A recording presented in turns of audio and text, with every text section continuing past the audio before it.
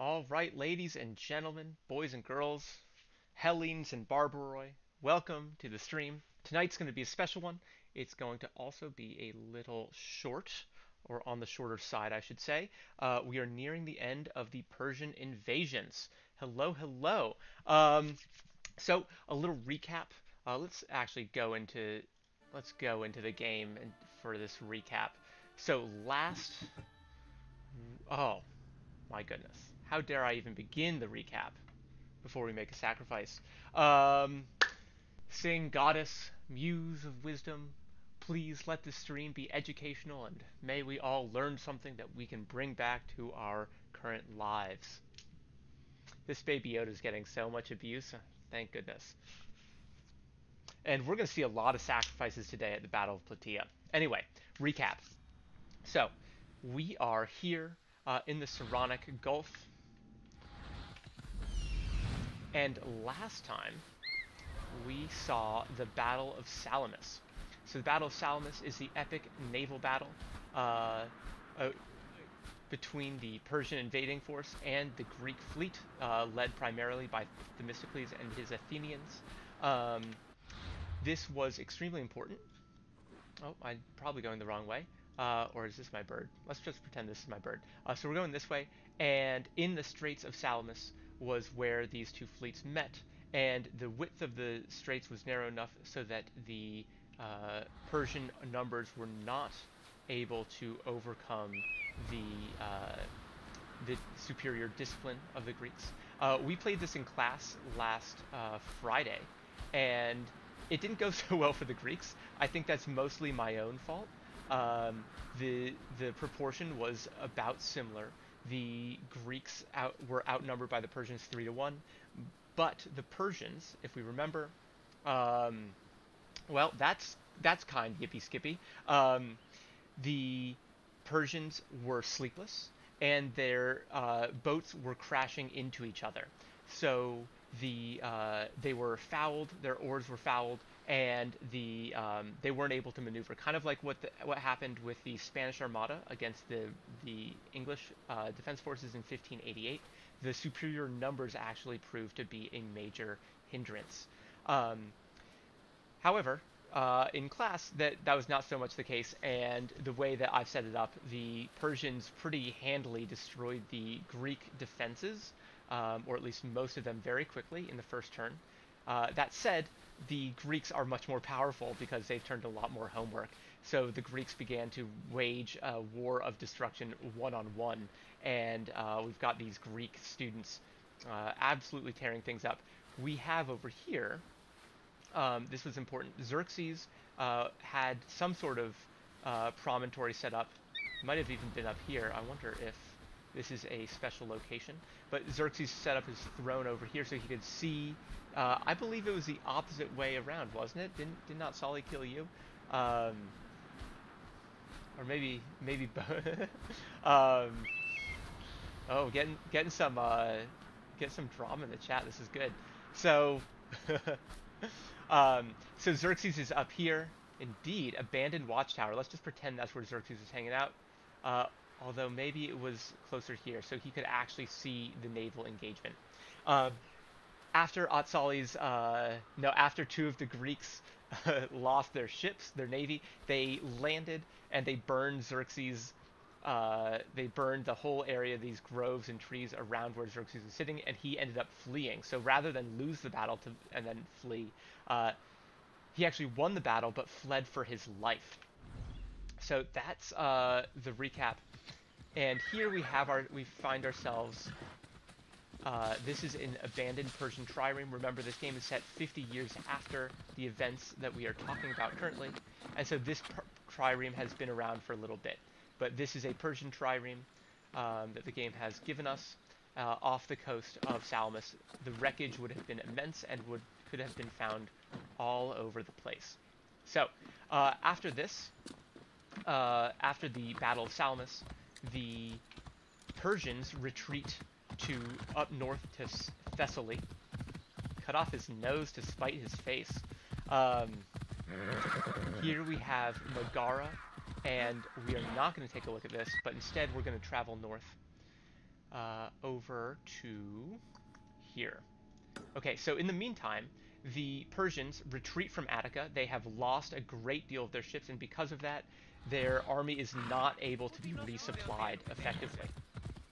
And so, the um, and so Xerxes says, "Hey, I'm not sticking around in this in the back at back ass end of nowhere over in Greece. I'm going to return to my empire, right? I'm not going to sit in Greece over the winter."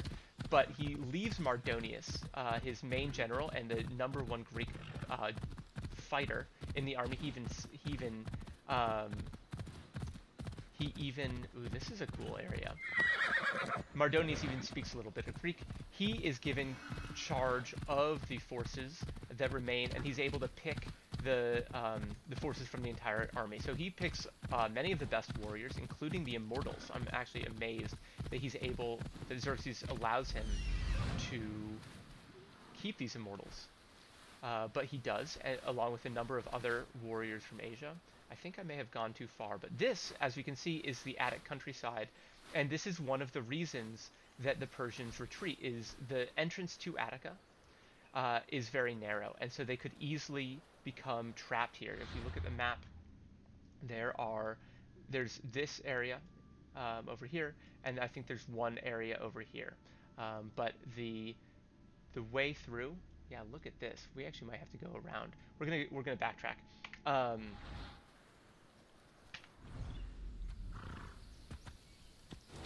um, let's see. But Mardonius is in the midst of picking the troops that will stay and uh, and escorting Xerxes north. He ends up going to Thessaly. I've got a question in the chat. What rights did women have during this time? It really depends. Uh, we've seen in the stream the uh, the women of Sparta who were quite powerful. Uh, they really ran society. They were able to inherit property, which ends up being a massive boon. They become very, very wealthy, um, especially because their their husbands are always dying in combat. Um, they could they could inherit from their husbands and then marry another guy and then inherit from him as well. So women ended up becoming the most powerful uh, landowners. And by the middle of the fourth century, were by far the most powerful people in Sparta. Um, and were pulling a lot of shots. Unfortunately, we don't really know that much about the society beyond what we or, or, about the place and role that women played in Spartan society because that's they're not the focus of a lot of the histories that come down to us. Um, but we do know from Aristotle. Aristotle writes about the government of Sparta and the society, and he says it's a huge problem that we have this incredible, uh, this incredible inequality. I think he also he's freaked out about women having uh, the, the this economic power that was not normal in Greece, but. Um, but he also recognizes that Spartan society, which is predicated on equality, the Spartan citizens are called homoioi, which means equals. Spartan society predicated on equality cannot survive when some small group of people um, are consolidating their wealth generation after generation. So the women were, were powerful in Sparta. They had relatively equal rights. They, they now I should say equal equal rights, but they were separate but equal, right? Women are going to have very different stations. Uh, they're going to have more different religious functions. They're going to be singing and dancing and playing music and having a good time while the men are training for war. They're still going to be required to exercise, but they are going to be out in public. Now, that's a long answer to one part of your question. The other part of your question uh, goes, let's talk about Athens. Athenian women had very, very few rights. Uh, they were cloistered. They were uh, not allowed to go outside. Their rights were quite constrained. And um, and yeah, so their their position was very similar to that of a woman in a strict Muslim country today. They had to cover their faces. Uh, they could not cavort or talk to people in public. They had to do all of their socializing behind closed doors. Um, now, I'm sure there was a very rich social life of Athenian women, but it was incredibly circumscribed. The Gerousia were very powerful, um, and it really it depends on how we're talking about power. The informal power of the women in Sparta was considerable. They could make a lot of arrangements. They could influence the Gerousia. The Gerousia you know, ostensibly all had wives, um, and the basic fabric of society was going to be somewhat controlled by, by Spartan women, while the political decisions would not be. Spartan women did not have a voice in the politics of the time. Nevertheless, there are a lot of other ways that um, power can be exerted. If you think about today, think about the power of the Senate and Congress versus the power of uh, Fortune 500 companies, the 500 biggest companies in America. They're both powerful, but they have different roles to play. So, um, at this time, we have the Persians retreating up into Boeotia, north to Thessaly, and then um, they begin to move back south. Um, at this time, the Persians send an ambassador to the Athenians saying, hey, join our side, Medize with us, and uh, we will make you masters of all Greece, and we'll give you a territory of your desire. Um, and and the Athenians, they're interested. Um, however, they use this more to tell the Spartans that they need to do a better job than uh, actually taking it seriously. This guy Lycidas, um, or Lycides, I'm not sure how to pronounce it, he actually in this Council of Athenians says, hey, maybe we should actually entertain this offer.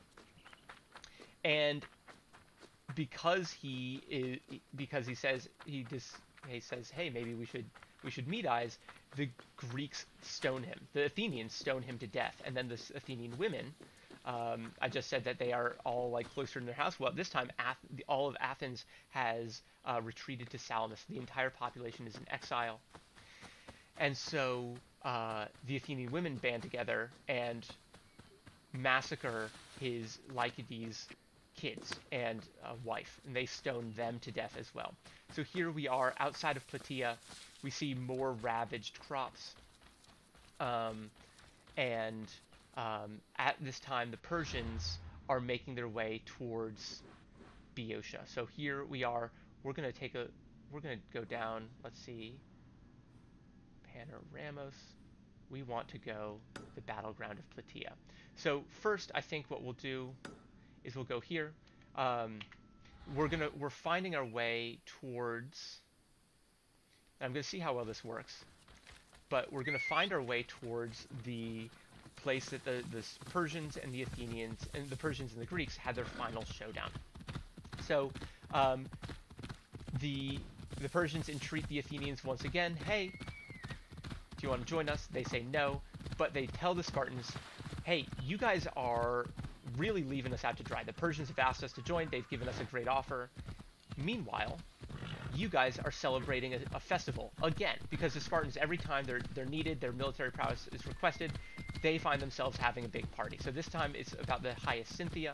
This is, I think, this is someone's lover. It's like Apollo or Artemis, not Artemis, but uh, some lover of some god uh, is being celebrated by the Hyacinthia. He even has a flower named after him.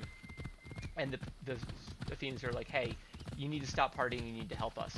And the ephors kind of bide their time. They're like, eh, I don't know, like we really, we really don't want to. Um, that seems really dangerous. We're building a wall across the Isthmus of Corinth, remember? Um, and at this time, the Isthmus of Corinth right now, this wall is very close to completion. Um, and so they're like, well, we might just want to stay down here. The Athenians are really getting upset about this for a decent reason. And uh, they they're getting frustrated, and then finally, the ephors, the these leaders of Spartan society, say, "Oh, you know what? We actually sent them sent out an army of ten of five thousand Spartan elites uh, just a few days ago." And the Athenians are like, "Oh my God, are you kidding me? And so then they they gr grab a bunch of people. They start going back to Athens with the good news, and they take with them 5,000 perioikoi. And remember, the perioikoi are those dwellers around peri, meaning perimeter, or meaning around. The perioikoi being those people who live around Sparta but not aren't necessarily Spartans. So at this time, um, Mardonius, um, let's see, has made his way back to Athens. He's going all over the place, and this is this is one of the reasons I'm going to speed things up a little bit. But he go, goes, he's in Thessaly, he comes through Boeotia, he goes to Athens, he finds it deserted. He's thinking that he can use Athens and the city and the people within it, who he's assuming have repopulated the city. He's assuming he can use that as a hostage, and he can say, "Hey, I won't destroy the city if you join with me and if you Medize." But he finds it abandoned, so he occupies it, and then uh, as he finds out that these uh, Peloponnesian troops under the leadership of Sparta are coming up north through the isthmus, he abandons Attica and burns the entire city to the ground once again. So, um, he then, let's see, they find themselves in this area, this Cithaeron foothills. We're going to check out, let's see if we can find Mount Cithaeron. And so in this area, this looks like this might be Mount Cithaeron over here. In this area is the first place that the the Greeks and the Persians mm, uh, face off. And I'm looking in my uh, my Herodotus. They have a picture of the um, yeah. So this is the Mount Cithaeron ridgeline, and then over here, let's see, down here is where the the Greeks first meet. So the Athenians and the Greeks make their way to a pass of this Cithaeron, this Cithaeron, so it's probably somewhere here. Whereas, meanwhile, the Persians have set up their army all throughout this area. Now, again, this this map isn't built to scale because Plataea is a little further away. Um, but at this time, the Persian cavalry are able to harass the Greeks um, and uh, and raid their supply lines. So the Greeks are down down here, a little bit in front of Plataea, and this is, I believe, the Asopus River. Anyway, this isn't to scale, so I'm not sure how much uh, I can really do in terms of battlefield nego- uh, battlefield negotiation or, or navigation, rather. But we will take a look at this. Um, and so this is the Asopus River. Over here lies Thebes. The Thebans, the uh, the biggest city, the biggest polis in uh, Boeotia, is over here, and they have joined the Persians. So the the Thebans are maybe the main contributor of Greeks to the Persian force. However, the Persians or the Greeks north of Boeotia, in Boeotia North, uh, have mostly Medized. So there is a hefty contingent.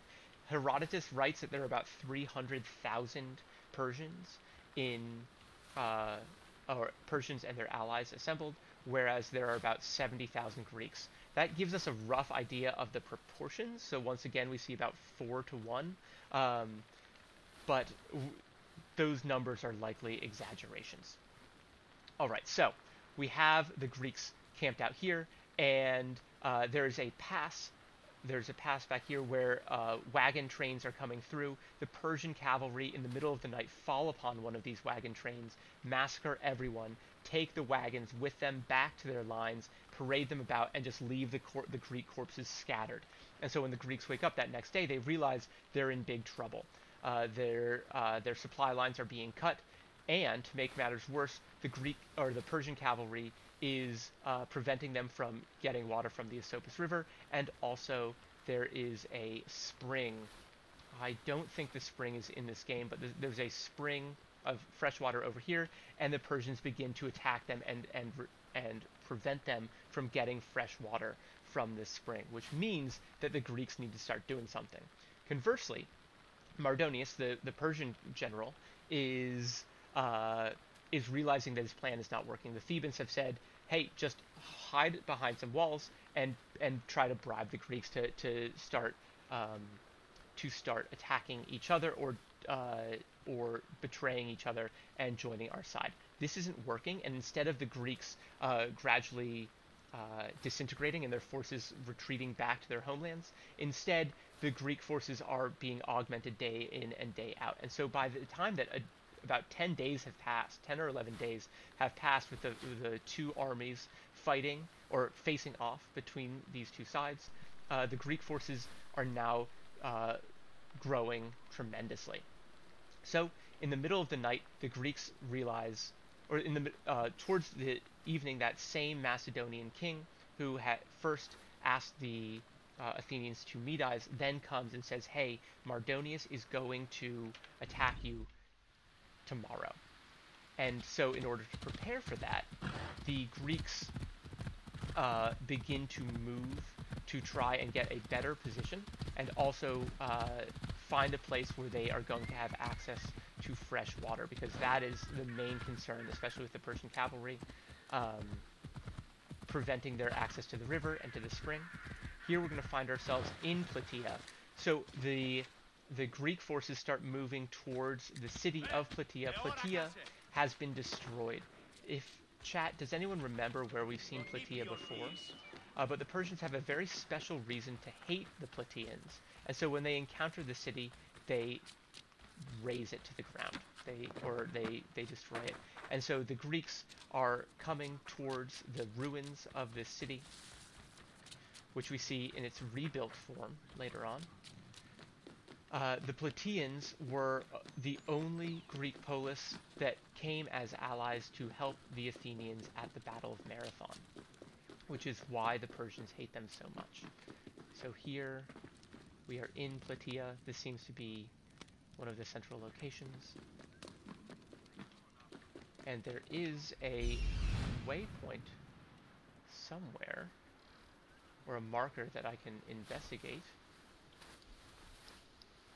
Oh, and it's over there. Alright, so let's go this way. So, the Greeks find their way to Plataea, as do the Persians, and on that day, um, they will finally be in combat. We're going to check out, we've already looked at the, the Plataean plain, we're going to check out this area of interest, this point of interest, and then we're going to switch once again to the um, to Rome Total War, where we're going to play the Battle of Plataea, and then that might be it. Um, we're very close to the end of the Persian Wars, and so as I said, the um, the amount of content in this game is running low, as is the ability for me to show you different places. But very soon we're going to start Thucydides and the Persian and the Peloponnesian War in the lead up to it, so the next 50 years, uh, and we'll be able to come right back in. Um, let's see, uh, Moon Mackerel, you'll be excited to know that Naxos is going to show up uh, in the next few weeks. Actually, um, so I should say in the middle of the stream, I've also posted it on the info. There will be no stream on Tuesday.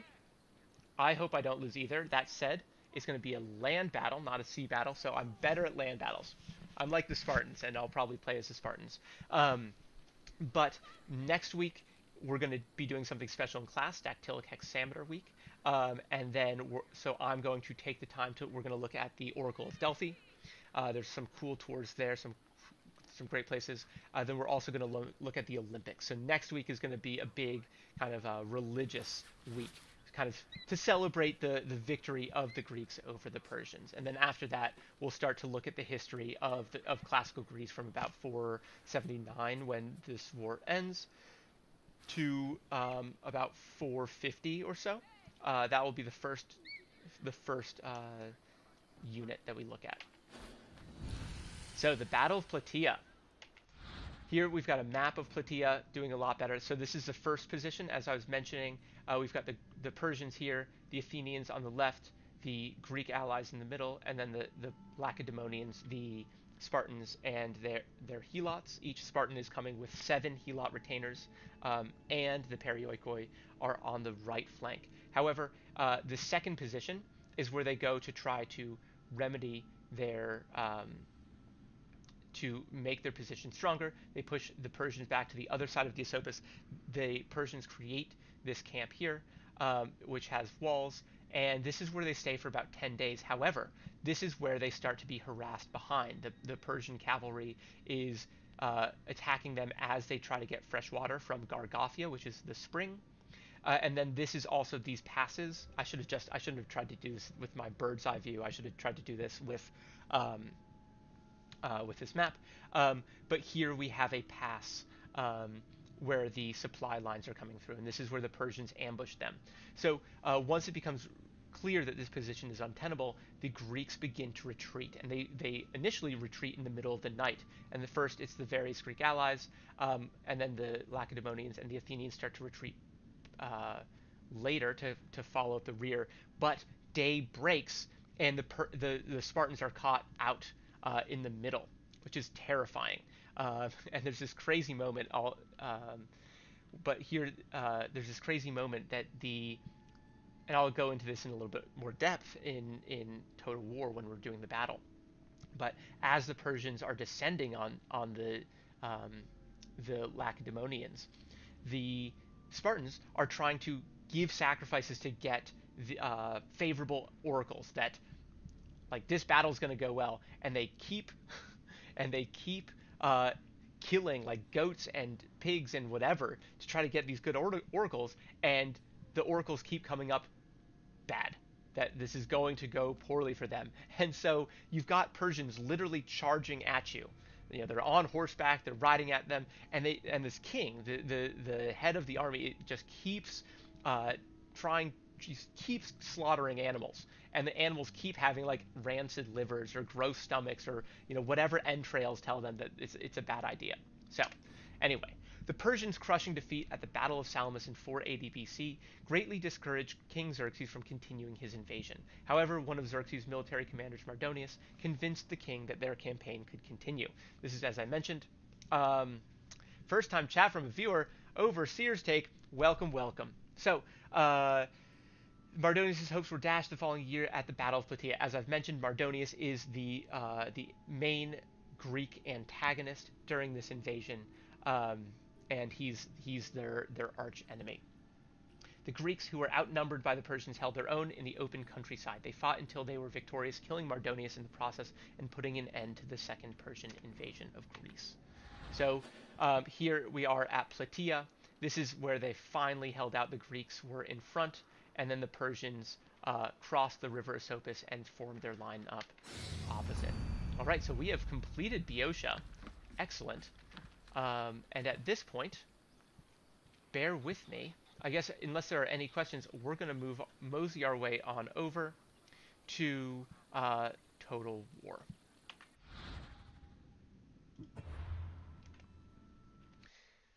Now let me just change the game that we're playing. I don't want to sell anyone a bag of goods.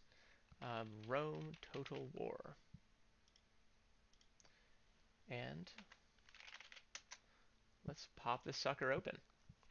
So um, this time I have not created the battle ahead of time. I wanted to go, um, I wanted to go through this with you guys. Um, so as I mentioned, the uh, the Persians out outnumber the Greeks about four to one, um, and we have here the let's see.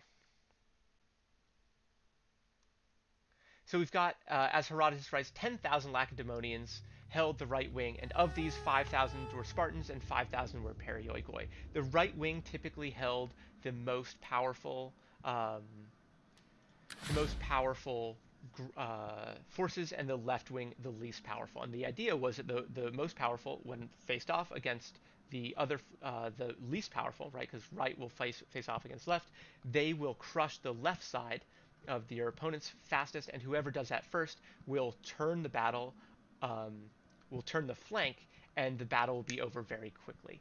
Um, at least that's what comes down to us. So here we are. We're not going to do a coastal battle. We're going to do a land battle.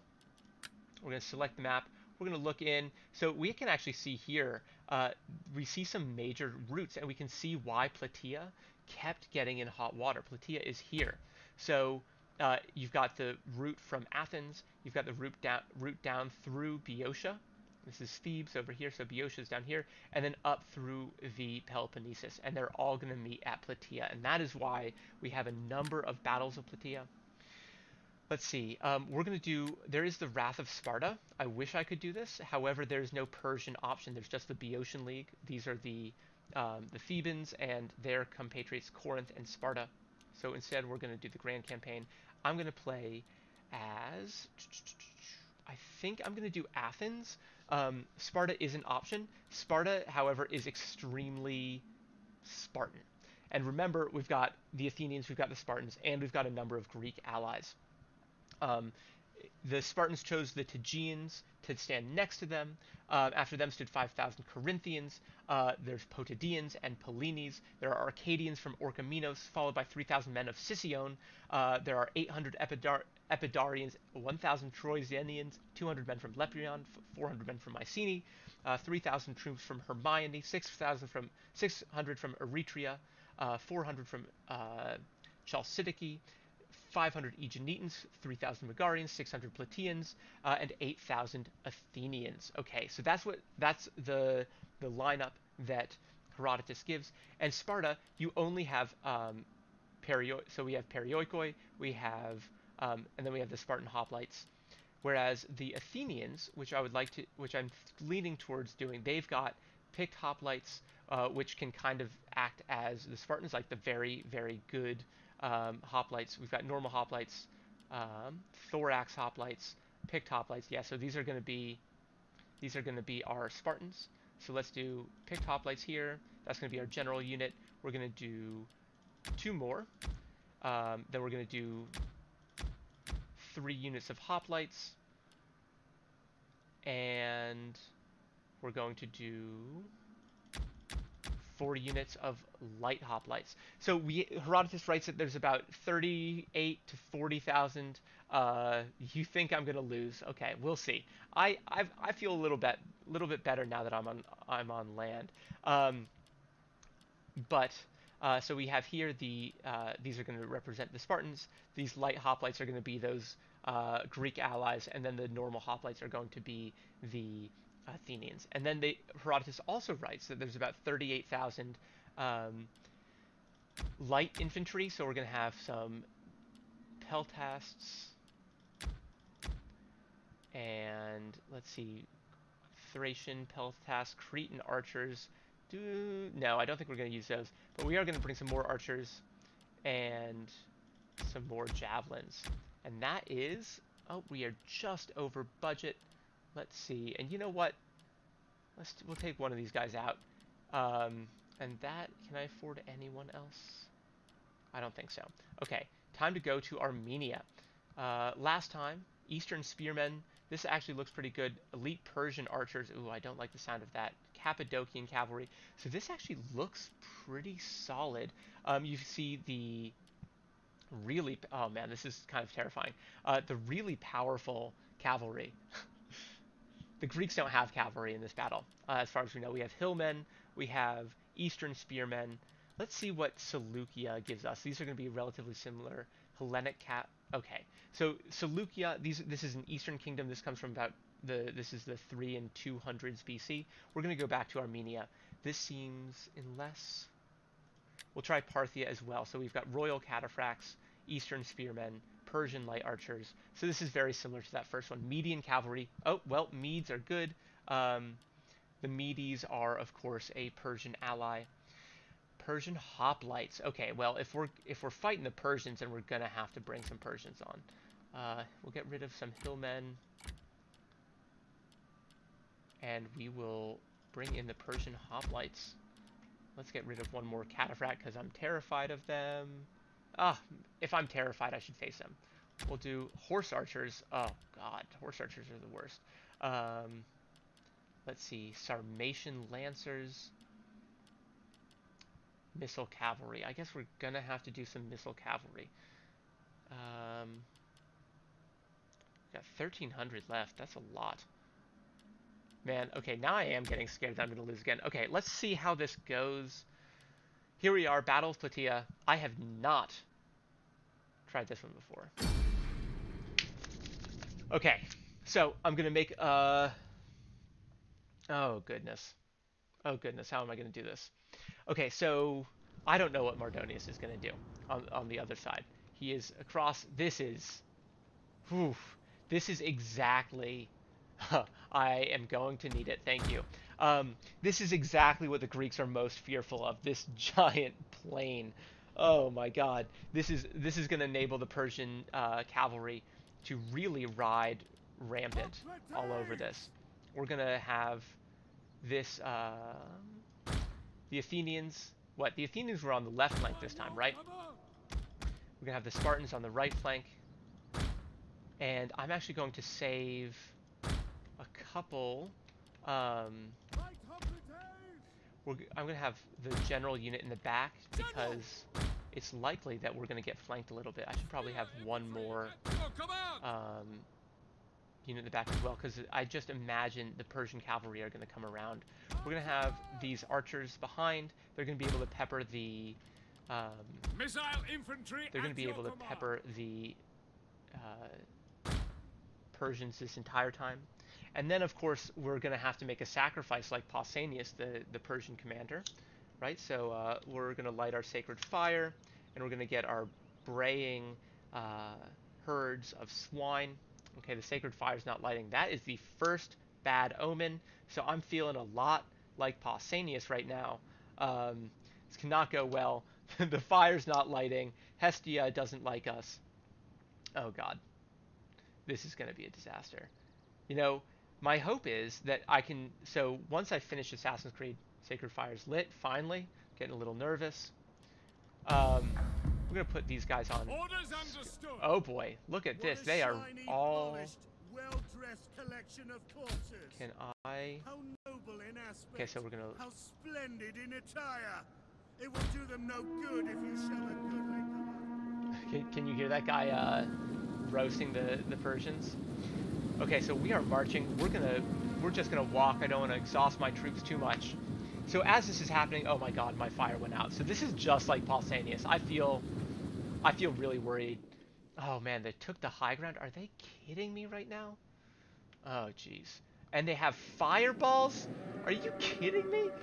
This is absurd. So they've got freaking fireballs that they're gonna light and they're gonna roll down this hill at me. They've got cavalry that are gonna charge. Ah, Nikes. This is not good. We've got median cavalry here. Okay. So as this happens, what is my... I think I might try to get over here and try to uh, hit them from the flank. I'm not sure because this side is off off grounds. Let's see. I'm gonna see where I'm marching. We're gonna move this a little bit forward.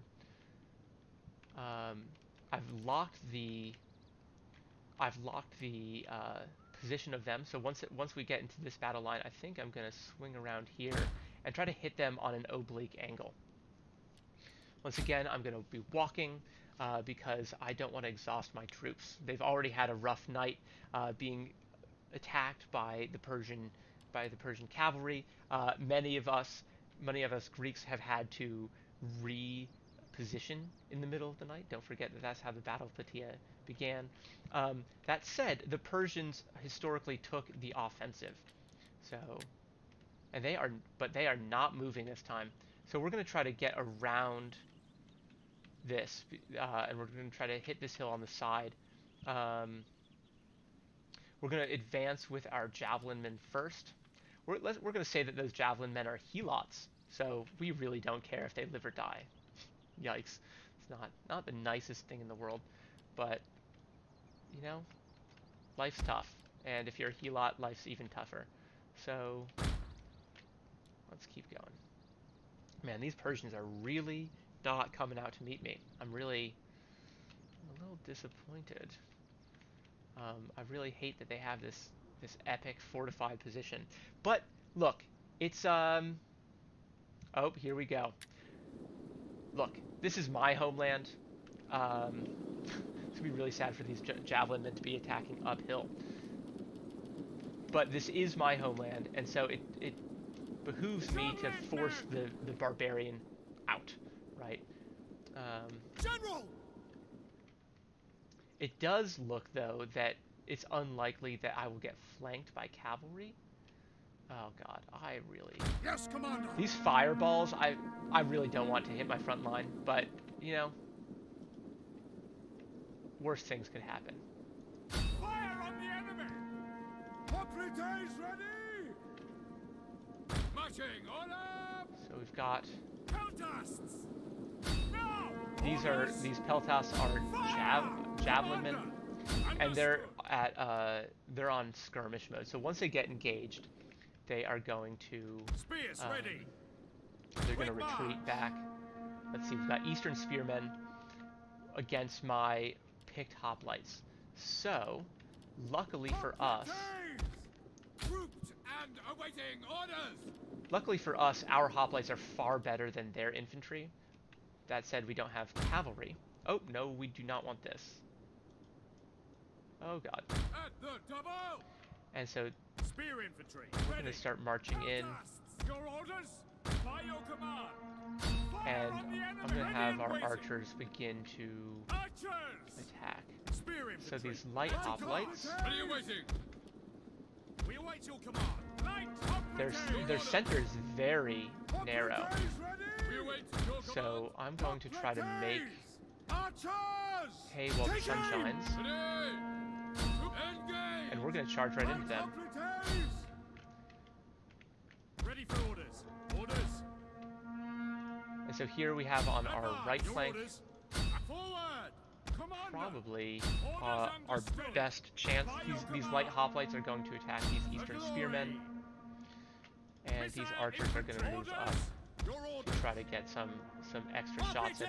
Unfortunately, of course, these archers are firing uphill, which is not the best way your command. Spear um, hit. That said, our um, our picked hoplites are going to hit these guys in the flank. They're moving. Oh god. Oh god. Oh god. okay, that was sweet. Um, so we just had some some fireballs roll through my lines. That was less than sweet, but these light hoplites are in complete disarray. So we're gonna have to build a hoplite wall. Rapid advance. Too late for that. Um, but okay, these picked hoplites I think are gonna actually have to come into the back of the median cavalry because they are in desperate need. We're gonna bring these hoplites in, and on this right flank, we're going to need to start uh, wrapping things up. So we have the hoplites here are about to get surrounded. Um, at least the people who are surrounding them are going to start getting hit in the back, but we are going to have these hoplites hit our aggressors, these Persian hoplites. Um, let's go. Okay, so how's my line looking here? A mess, an absolute mess. Um, and these hoplites, so these hoplites are spearmen. These are light hoplites going up against royal cataphracts, uh, which is probably not going to, uh, I don't know. These royal cataphracts are super strong, but Missiles, as spear infantry, they are going to have an advantage. Uh, these picked hoplites are up against these eastern spearmen, Your orders. light hoplites, as well against the median cavalry. We're going to start putting us up into shield walls. I think the shield, let's see. I really need these picked hoplites to make quick work of these eastern spearmen so that we can start wrapping up the flank as soon as I can get uh, one Spear side one side wrapped up, that's going to be really helpful.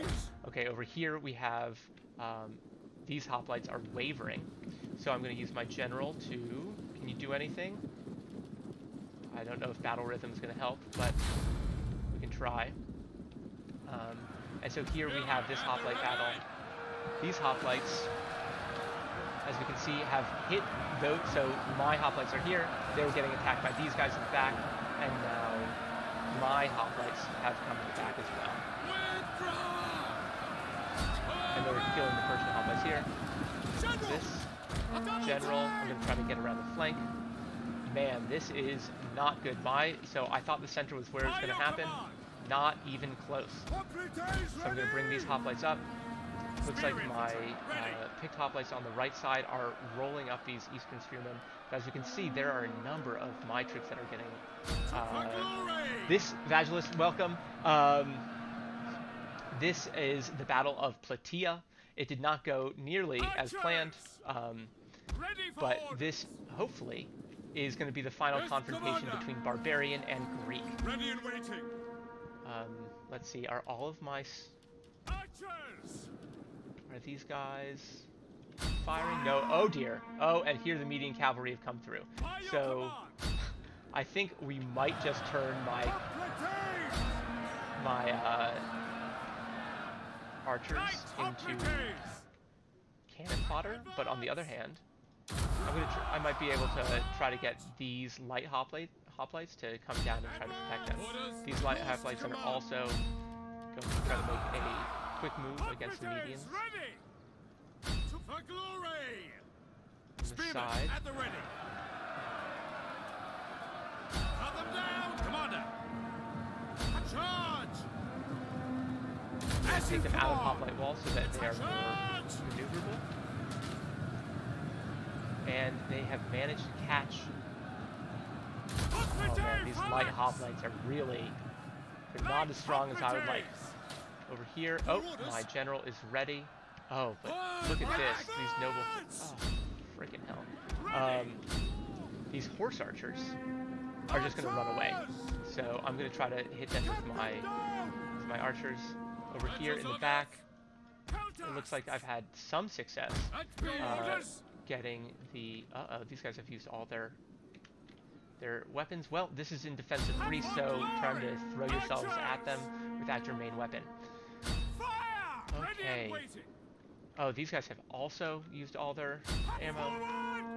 You, man, these yikes! It is not good when you've got sending javelin and with uh, what daggers, uh, meat shields. So that's what it's going to be like. We've got the Persians. Uh, the Persian contingent was one of the fiercest. General! Engage! These guys are getting hit in the back, which, oof, not great. Archers! But at least uh, the noble horse archers are sticking around long enough to take good damage. Now this is going to be a near-run thing. Light These light hoplites, Back men, back! Forward! and how's this side? Spear infantry, ready! Take us out of? Take us out of hoplite wall. Oh dear, Parthian swordsmen. Let's hammer these guys. Light hoplites, Hoplites! hammer and anvil style. We've got hoplite wall, and then these guys. Oh, where, where are you going? Where are you running to? I don't know where they're going. I think they're just running down the hill to try to flank. We're gonna bring these hoplites up and try to engage them on this left flank so that we can start to turn something. infantry at your command! Oh my goodness, these peltasts are way too far and, well, at least they're dying for a good cause. Down here in the bottom, these light hoplites are getting wrecked by the Parthian swordsmen. These hoplites, my, they're doing good work against the these eastern cat- cataphracts. These are one of the um, most. These are going to be one of the most powerful units on the on the field right now. Um, and now that the cataphracts are retreating, I think we're going to hit these eastern spearmen in the back. Looks like we are actually the the Hold up! center did hold. So we're gonna we're gonna annihilate these eastern spearmen, and then think we're gonna be able to start advancing these pick hoplites. Wind Coming up. understood. We're gonna move Missile our archers to the top of the hill. infantry, This was this is a lot closer than I was hoping. Um, lights. Yeah, basically, I guess we should pronounce Greek General! like we're, we're British, As you command! uh, and just drop all the H's. Hoplites ready! A double time! Your orders! Right. Looks like these royal cataphracts are the last ones here. They're completely mired in uh in killing my poor javelin men with uh who don't have any javelins. They got these little swords and these little shields. Poor guys are just getting absolutely screwed up. And here the hoplites are showing up. And here we get our nice hoplite phalanx. Let's see if we can. Spearmen at the Uh, ready! Hoplite phalanx! Gonna get our hoplite wall, and you can see all these missiles raining down down here. orders? To arms! Missile infantry at your command! These eastern cataphracts are hopefully gonna fall Hoplites soon. We'll look at these hoplites. And that is a victory. Oh, thank goodness. That would, uh, I really, I'm glad I got one victory. So we killed 2,000 out of 2,600 and we lost about half of our troops. So not terrible. Um, these picked hoplites really did a number. You can see that the hoplites are amazing and you can also see why they the Greeks didn't rely too heavily on the um, too heavily on the ranged infantry. These guys got far fewer kills. The uh, the ca- the cavalry are going to be the main source of their power, um, and def- and what the Greeks don't have access to because of their their terrain. Uh, but that went okay. All right. Um, so as I've mentioned, today is going to be a relatively shorter one. Uh, Battle of we are now done with the Persian invasions. Um, I guess uh, next week, tune in next Sunday. Uh, I'll give a little epilogue for the whole thing. Um, but for now, we've seen the Battle of Plataea. In that battle, Mardonius was killed. Mardonius being the general, he came out on uh, beautiful white destrier uh, horse, looking all good. Um, Fadulous, what do you, you, got? Tell me, what are you doing? Uh, 9 a.m. Uh, Monday, Wednesday, Pacific time. Uh, because if you want, you could give us a little. If you want to be a guest speaker in our class, you could uh, you could come and give us a little rundown of. It's 4:50 a.m. Yeah, that's what I thought. What are you doing? What are you doing up now? That's my question. Um, so okay, 4:50 means that you are 10 hours ahead of time, uh, ahead of us. So that would actually that would be 7 p.m. your time.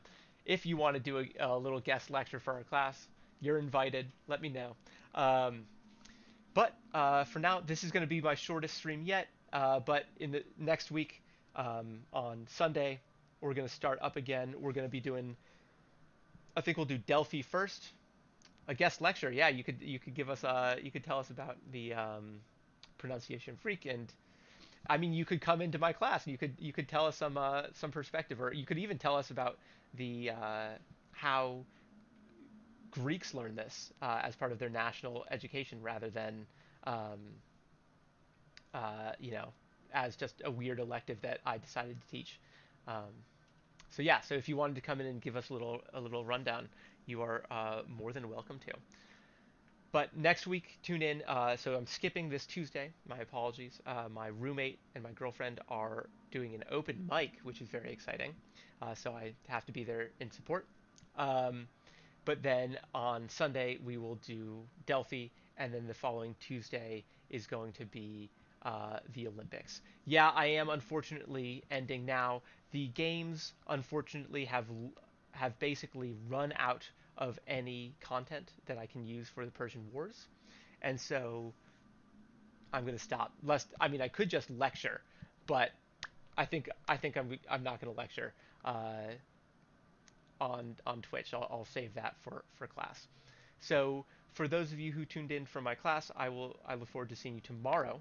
We are going to wrap up the Battle of Salamis in class, and then we will have um, we will have potentially the final battle.